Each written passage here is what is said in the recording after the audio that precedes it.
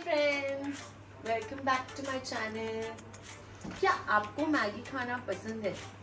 मुझे तो है। जब भूख लगे, कोई भी क्रेविंग हो, मैगी ही चाहिए। लेकिन मैं आपके लिए एक ऐसी रेसिपी लेके आई हूँ, जो झटपट बनता है, मैगी से रिलेटेड है। तो चलिए, हम जल्दी से बनाते हैं हमारी मैगी भेल। सबसे पहले हम अपने बटर को मेल्ट कर लेंगे।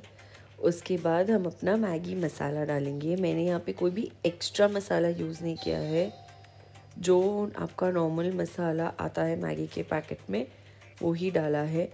अगर जैसे मैं देख रही हूँ कि मेरे क्रम्स बन गए हैं मसालों के तो थोड़ा सा मैंने बटर और डाल दिया है ताकि वो अच्छे से हमारे मैगी में मिक्स हो जाए।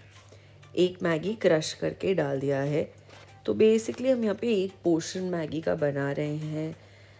अगर आप दो तीन पैकेट बनाना चाहते हैं तो सिमिलरली आप दो तीन पैकेट मसाले और सब चीज़ उसी अकॉर्डिंग डाल के इसको अच्छे से आपको चलाते रहना है, ताकि ऐसे नहीं हो कि एक तरफ़ से ज़्यादा सीख जाए, एक तरफ़ से कम।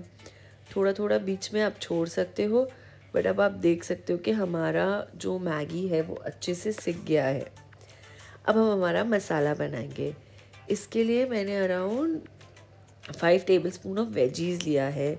यहाँ पे मैंने capsicum carrot corn and onion लिया है। आप चाहो तो कोई भी वेजीज़ ले सकते हो, जो आपका मन है। आपको टमेटो डालना है, आप टमेटो डाल सकते हो। आपको कॉलीफ्लावर डालना है, आप डाल सकते हो। Any veggies you want to जैसे ब्रोकली हो क्या बट मुझे तो बस यही अच्छा लगता है तो I have added this will add little seasoning like vinegar soya sauce and थोड़ा सा हमारा शेजवान चटनी बिकॉज़ उससे वो थोड़ा सा स्पाइसी थोड़ा सा वो किक आ जाएगा। अगर आप ज़्यादा स्पाइसी खाते हो तो आप इसमें थोड़ा सा ग्रीन चिली ऐड कर सकते हो, या पेरी पेरी पाउडर ऐड कर सकते हो। बस हमारे सेके हुए मैगी को इसमें डालिए, अच्छे से मिक्स करिए। अगर आप कोई पार्टी के लिए बना रहे हैं तो आप मैगी सेक के अलग से रख लीजिए एक डब्बे में। ये मसाला बना के अलग से रख लीजिए and on the moment mix करिए एंड सर्व करिए। ताकि हमारे नूडल्स क्रिस्पी रहे और एक बाइट आए क्रंच आए और बहुत मज़ा आता है। इसमें थोड़ा सा ऊपर से स्प्रिंग अनियन और ब्लैक पेपर पाउडर ड्रिजल कर दीजिए। आपका मैगी भेल रेडी है। अगर आपको ये चैनल अच्छा लग रहा है तो please like, share, and subscribe to my channel. Thank you for watching